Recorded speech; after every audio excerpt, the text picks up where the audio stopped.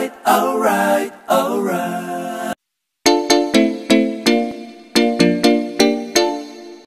Hi po sa inyong lahat. For today's video, i-share ko po sa inyo kung paano po gumawa ng no oven na chocolate cupcake. So, ito po yung mga ingredients.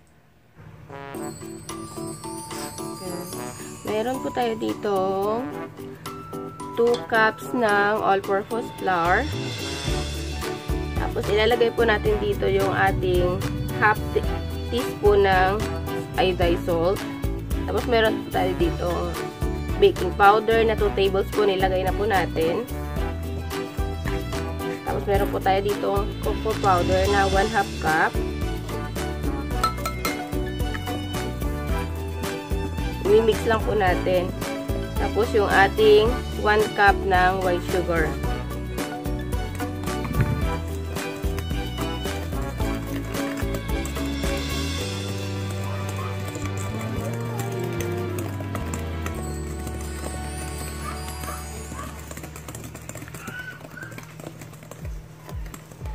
Tapos ilagay na po natin yung ating 1 cup ng water.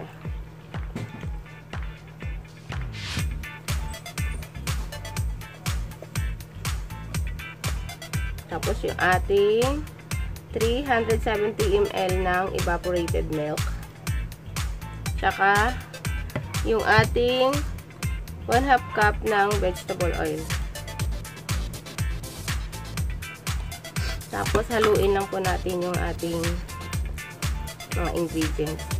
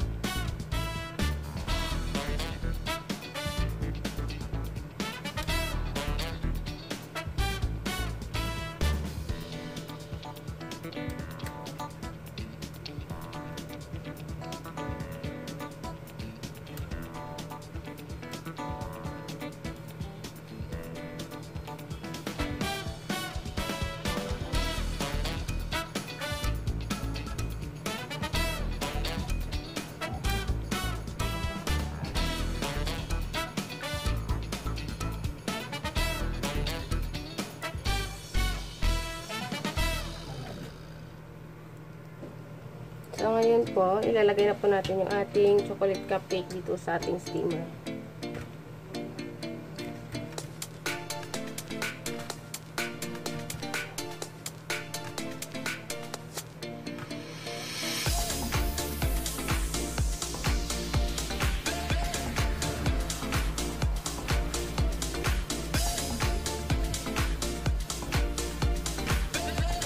Tapos, steam lang po natin siya ng 15 minutes. Guys, ito na po. Lagay na po natin sa steamer yung ating chocolate cupcake. Tapos, lalagyan ko po siya ng toppings. Optional lang po yung toppings.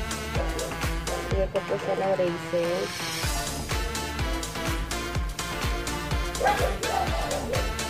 Ito po ay optional lamang.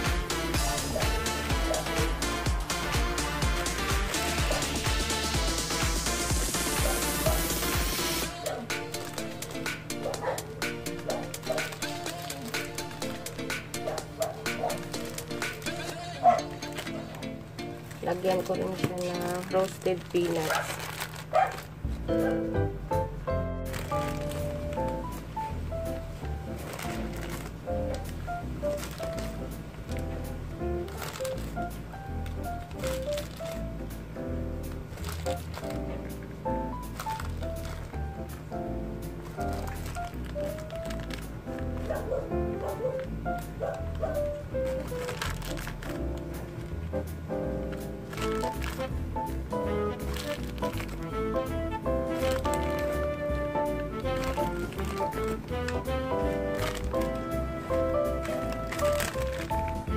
thank you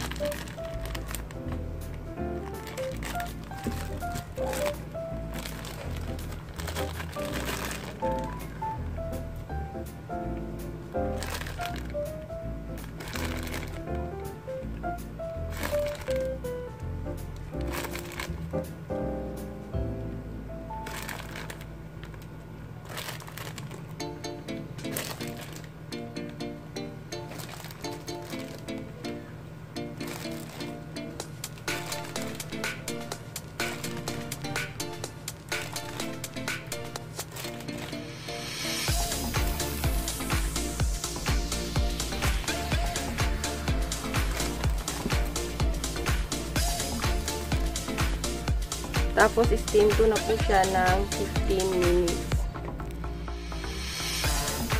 So, ito na po. Luto na po yung ating chocolate cupcake. Yung itsura. Ito po siya.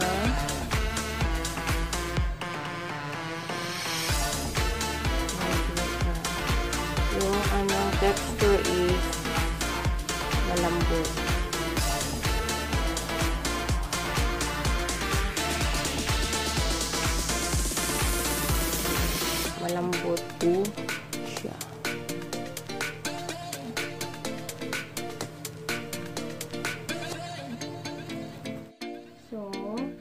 I hope po na nagustuhan nyo po yung bagong recipe na shinare ko po sa inyo.